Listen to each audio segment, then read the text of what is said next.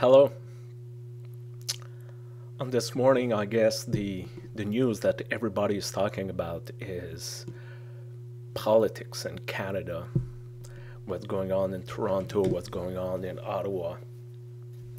I was not very looking to cover this in my midweek messages because I'm not an expert about law or you know, and I follow politics like the next guy, but I would not say that I have special credential to analyze this.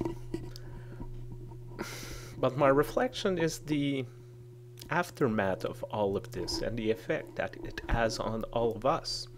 We seem to have someone in Toronto that seemed to have some sort of addiction problem or I don't know if it's really addiction or not, but someone seems to abuse a substance. And that is a serious problem.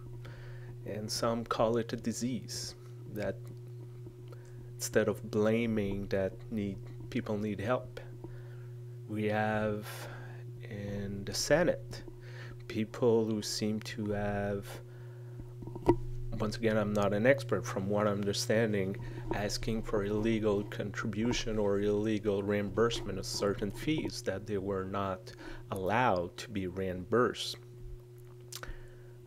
But it's after that what's going on? As we as citizens look at this and we can say okay someone make a mistake but it's the systematic lying that has a big effect on us. Being lied over and over and over again not because someone was not informed but all of this for what? Political gain?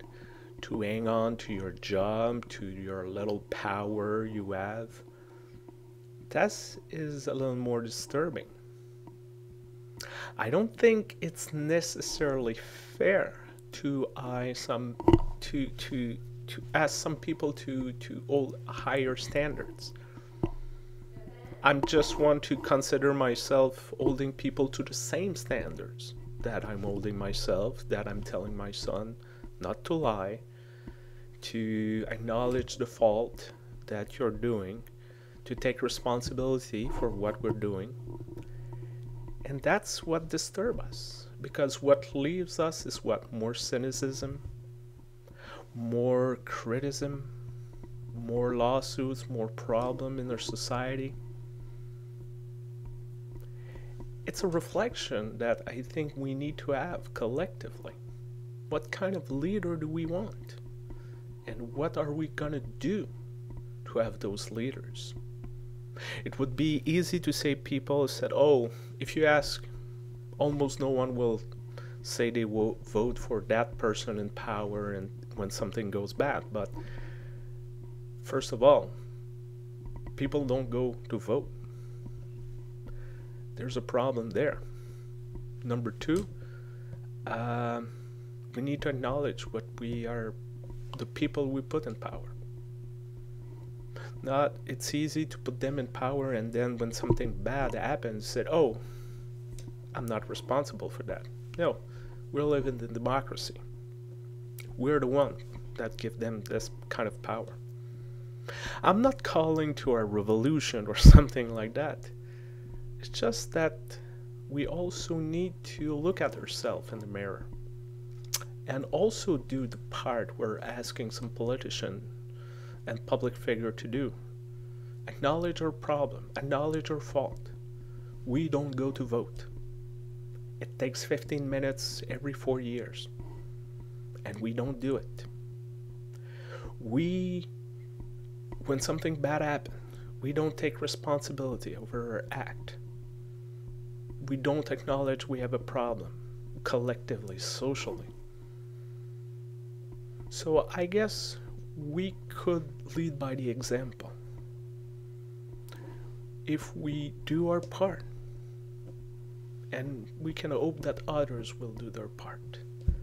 If collectively we do what we ask our politician to do, we could see change. And that's maybe the difficult part in all of this. It's so easy to say that's his fault, her fault. What about our fault? What about our responsibility in all of this? And that's maybe what I would like to in- invite you this week.